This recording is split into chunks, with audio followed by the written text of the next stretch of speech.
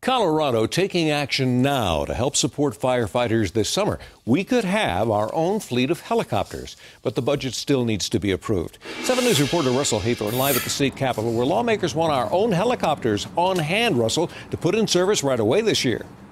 Mike, specifically three helicopters this year, four planes next year. That's the plan if a new law passes here at the state capitol this year, which, which would essentially allow the state of Colorado to go out and lease its own firefighting aircraft.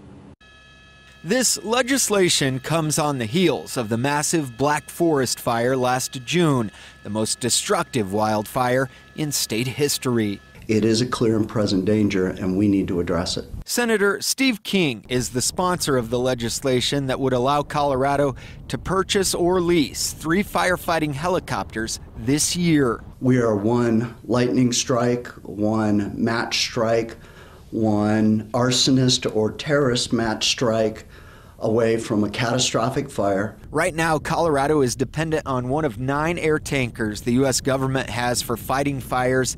If the bill passes, Colorado, like California, would have its own fleet. In Colorado, it would be up to four large air tankers next year, in addition to the three helicopters this year. King says in the case of the Black Forest fire, it was three days before the state received heavy air support. The federal government isn't going to fly in and save us. California isn't going to fly in and save us. We need to save ourselves. And this bill already has bipartisan support, including Democratic sponsorship. The cost of leasing the three helicopters this year would be anywhere from 8 to 12 million dollars, we're told. A bill that passed last year already allows Colorado to create its own firefighting air corps but this bill this year actually provides the money to make it happen.